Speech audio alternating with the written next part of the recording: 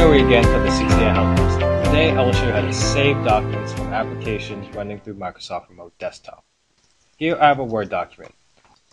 To save the document you want to click File, Save As, and Browse. To the left there's a scroll bar. You want to grab that and scroll down to Computer.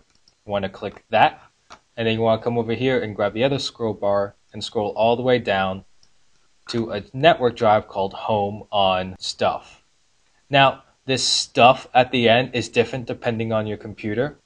Whether you are in a lab or at home, when saving a document from Microsoft Remote Desktop, the network drive home is the one you are looking for.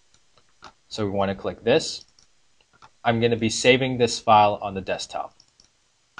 I'll then change the name and click Save.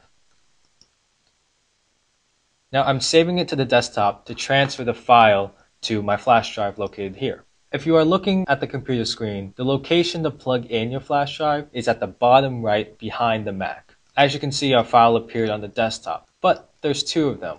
This tilde dollar sign version of it is a backup version. We want to focus on this one, the one with none of those symbols on it.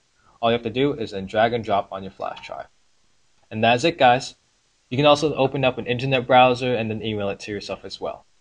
If you have any questions, you can contact us at help at cci.fsu.edu or call us at 850 644 8108.